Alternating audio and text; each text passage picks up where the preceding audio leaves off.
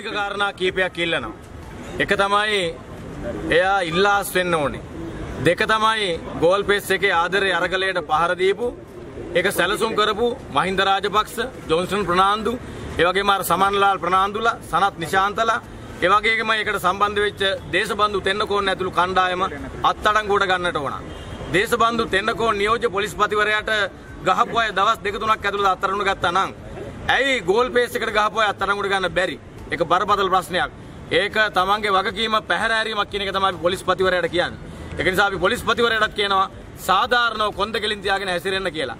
ඒ වෙනුවෙන් මේ රටේ වෘත්ති සමිති මධ්‍යස්ථානයේ විදියට ගොඩ යන්නේ නැත්තම් මේ අත්අඩංගුවට ගන්න නැත්තම් මේ කරන අරගලය අකණ්ඩව කරනවා කියන කාරණයත් අපි රාජපක්ෂ මහත්තයා මේ බංකරක ගහගෙන බැරියර් දාගෙන ජනතාවට කිට්ටු නොවේ අර මාලිගාවකට වෙලා ඉන්නවා හිර වෙලා ජනතාවට කන් දෙන්න දෙන්නේ නැතුව ජනතාවගේ ප්‍රශ්නවලට උත්තර දෙන්නේ නැතුව. නිසා අපි අද වෘත්තීය සමය සම්බන්ධීකරණ මධ්‍යස්ථානයේ හැටියට ආවේ දැන් අගමැති ප්‍රමුඛ ආණ්ඩුව හිටපු මහින්ද රාජපක්ෂ අගමැතිවරයා ඇතුළු ආණ්ඩුව දැන් එලවලා තියෙන රටේ මිනිස්සු. හැබැයි ඒ එලවනකොට රටේ මිනිස්සු කිව්වේ ගෝඨාභය රාජපක්ෂලත් එක්ක යන්න කියලා. හැබැයි ගෝඨාභය රාජපක්ෂත් එක්ක අනේක වෙනුවට මහින්ද රාජපක්ෂ මහත්තයා ගිහිල්ලා ගියාට පස්සේ රටේ ජනතාව ඉල්ලන ඉල්ලීම වෙනුවට දැන් අලුත් ආකාරයේ ඩීල් එකක් පටන් අරන් තියෙනවා. නිසා වෘත්තීය සමිතියට අපි කියනවා ගෝඨාභය රාජපක්ෂ පිළිගන්නේ නැති අපි ගෝඨාභය රාජපක්ෂ පතන කිසිදු පත්වීමක් අපි බාරගන්නේ නැහැ. නිසා මේ මොහොතේ අගමැතිවරයෙක් පත් කරලා රාජපක්ෂලාගේ වැඩ පිළිවෙල නම් අරන් යන්න හදන්නේ ආපහු රාජපක්ෂලාට නම් ඉන්න හදන්නේ අපි ඒක බාරගන්නේ නැහැ. නිසා රටේ පොදු මහ ජනතාව ගෝල්පේ සරගලේන තරුණයෝ මේ රටේ ගොවියෝ කම්කරුවෝ සියලු දෙනා ඇතිතරම් ප්‍රශ්න කොටක දාලා තියෙන්නේ. රටට ඇතිතරම් ප්‍රශ්න හදලා තියෙන ගෝඨාභය රාජපක්ෂටයි මේ කට්ටියටයි අපි කියන්නේ දැන් වහාම යන්න. නිසා ගෝඨාභය රාජපක්ෂ පත් කරන කිසිදු පත්වීමක් බාරගන්න